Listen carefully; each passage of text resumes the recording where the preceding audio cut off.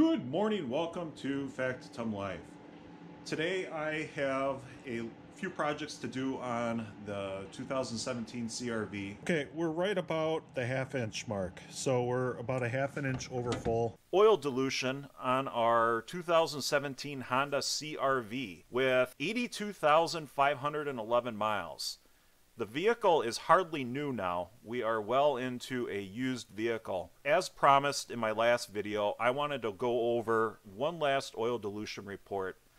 And that was because this dilution report would land exclusively into the what I would call our extreme cold weather. During this extreme cold timeline, which usually is from December, January until now, um, this is the coldest weather that we experience, and it would be the coldest weather this vehicle sees. So, with that said, at after the last oil change, we exclusively used premium fuel, which in our area is 91 octane without ethanol in it, and we went ahead and just did our normal business. Now, I had originally intended to change the oil a little closer to 3,000 miles However, life gets ahead, and here we are. I ended up with 5,491 miles on the oil sample. And we'll get right to it.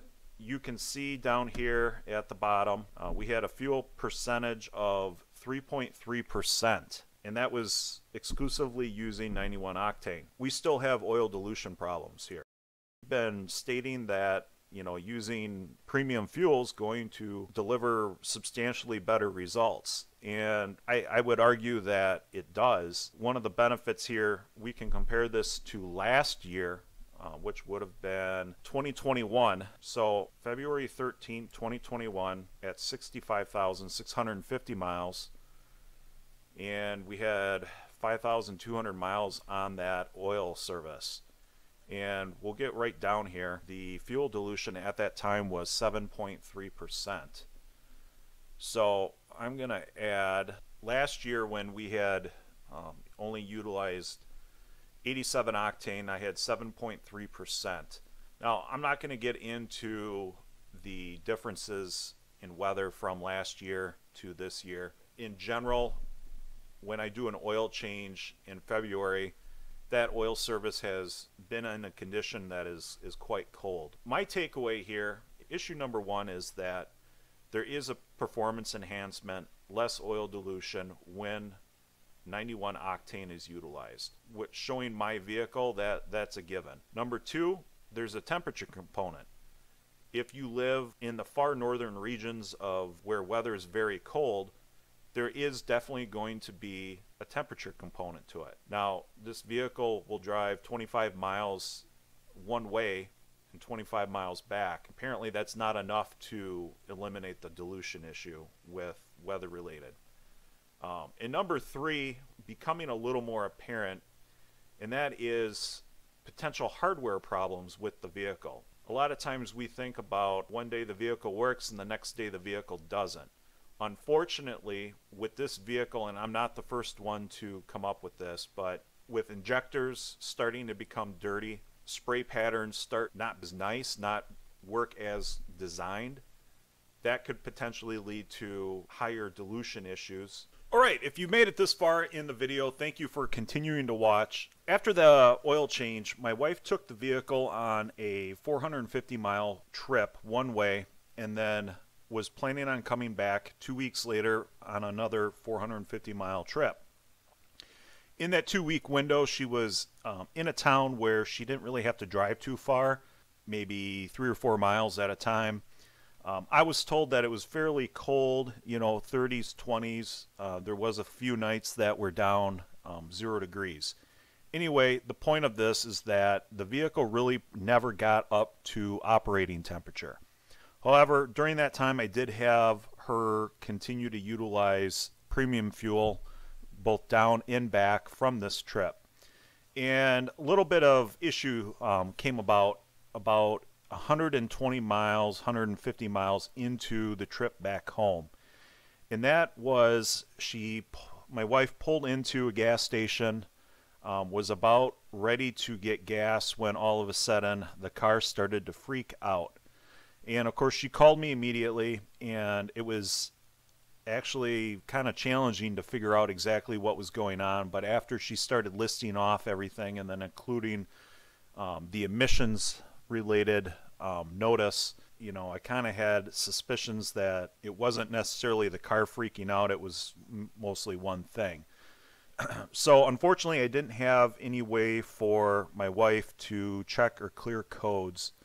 Um, she was I, I, actually did have her check the oil. She reported that the oil level at that point was um, at the very top of the orange. Um, it didn't look like it was any higher than the orange but it was taking up the full orange on the dipstick. This was on of course on a friday afternoon. Um, because the vehicle was still running okay i actually had her continue to drive it. Didn't have cruise control didn't have any of the driving nannies that are available on this car I had an earful when she got home. I mean, this thing, you know, you take for granted the cruise control, and when it doesn't work or it's programmed not to work because there's a, a fault found, um, it is it is pretty annoying. Even a little more salt on the wound with this is that when she did get home and I went to go start it up, see what was going on, it was all cleared. Um, the car started up fine. There was no check engine light. There was nothing going on.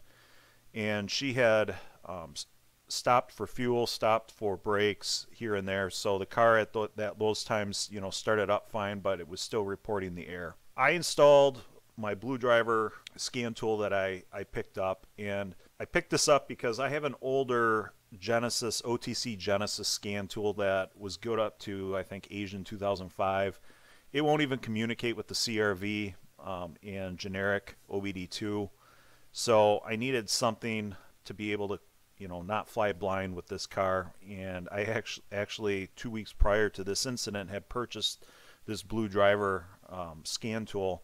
And for the amount of money and the data that it, it does share, I'm, I'm actually quite pleased with it. It doesn't do any um, sort of communication. I can't program anything with it, but you know, for the 120 or 100, 130 bucks, whatever it costs, definitely a decent value for at least looking at some data. So real quick here, this is what I'm going to share with you. So after pulling the codes, we had a P0172 and you can see here this was the freeze frame data that was showing when this code set. And of course, with the P0172, you see the short-term fuel trim at negative 22, long-term fuel trim at negative 22. So that's a real big um, evidence here that it's trying to pull back the uh, the injectors as much as it can. And my understanding is this code will set if both these values are negative 20 for some time. So it's a little bit, uh, it, to say the least, I was a little bit concerned because she actually had to turn around and um, go back down to the area that she was, which is you know 900 miles round trip. And this is supposed to be the you know this is our lowest mileage, newest vehicle. It has problems. So with this one though, uh, the one thing I would point out is you can see our runtime since the engine was this engine was running down the highway at for the last 75 minutes. I'm going to come out with a video that shows me replacing the fuel injectors on this car. The reason why I decided to go with the fuel injectors, I don't have any sort of way to do like a balance test or, you know, I guess I could have taken it into the dealer and had that done, had someone else um, make that assessment. However, um, starting at really the 65,000 mile mark. I, I, made a comment in one of the videos, I think it was one of the first videos that I did with the oil change sampling, was that the oil dilution seems to be getting worse on this vehicle. And really in the last year, it seems to me, at least my interpretation is that it's been a slow march forward or upward as far as the, the oil dilution goes. I was leaning towards a hardware problem, and I think there's there's really only two hardware problems that could exist that could cause this. Uh, one would be you have fuel injectors that are leaking or have spray patterns that are not as of designed and are leading to increased fuel dilution. The other is a high pressure fuel pump that um, is contaminating the oil through cross leaking. I, however, have not had any other codes. You know, I'm not having uh, pressure codes. I'm not having starting issues. This has been sort of in the last 20,000 miles, seems to be incrementally getting worse. And there was a time where, you know, especially in the summertime, if I'm using premium fuel, that I really am not having to deal with oil dilution. Uh, but what I ended up deciding to do was go ahead and replace the fuel injectors. The injectors, I, I ended up buying brand new injectors from Honda, which were, I don't know, $365 delivered to the door. I think what is going on with this car was that there was a lot of in town driving going on. The injectors are compromised. Uh, it led to oil level or the oil becoming fairly heavily contaminated with fuel. And as soon as my wife started driving this thing on the highway, um, it was leading to sort of a rapid loss of that fuel from the oil. 75 minute mark where this kicked on, uh, she was actually four hours into her trip. So the oil was good and hot, and clearly, you know that that was leading to uh, leading to some problems. At least that's what the theory is. So I'm going to launch this video before I launch the injector replacement video. If you're at all interested in the injectors being replaced and that process, by all means, continue to uh, look for that video. Maybe subscribe and hit the bell. That way you're notified. So thanks for watching.